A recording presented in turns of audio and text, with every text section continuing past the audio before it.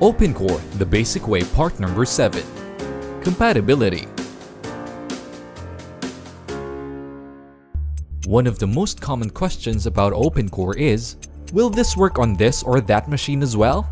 Well, as far as I own several Apple computers, from the early Mac Pro 1, 1, 3, 1, and 21, 1 iMac from 2011, and my actual Flash 4, Comma 1 and my 6, Comma 1 workhorse, they're all able to run an OpenCore installation. They're all able to run an OpenCore installation, no matter where it is installed or which version I'm using. The results does of course vary from machine to machine and that's just normal. In detail, the iMac for example will display the boot picker with its old HD 6750 GPU, but you will not have a benefit in native macOS updates. While the Mac Pro 6,1 from 2013 is natively supported by Apple, I get every OTA update without using OpenCore and hardware acceleration for example, with in-built Radeon D300s is simply not possible due to the old architecture of them.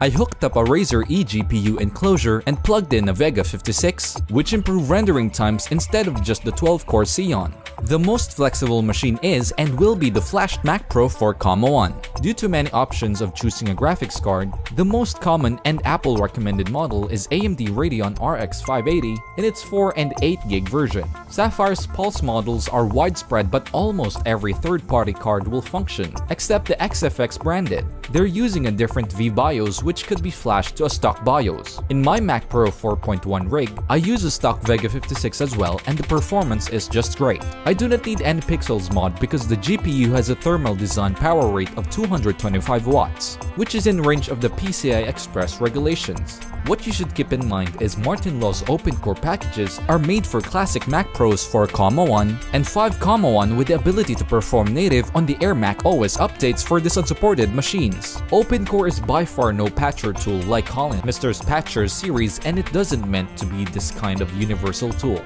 But for every 4,1 or 5,1 user, OpenCore is more versatile and easy to install. Co-admin Alex Levesque does dive deeper inside the code of the config.plist and site member Freck Ryder does run the latest Big Sur on his Extreme Expanded 3,1. Thanks to Martin Lo's and our rapidly fast-growing community, the knowledge raised day by day. While the new CPU architectures are spreading like a pandemic, you are the reason that a decade-old computer is still one of the most powerful tool a creative creator can have. So we'll look forward to 2021. May it be another glorious year for us classic Mac Pro lovers and for those to come. Stay healthy everybody!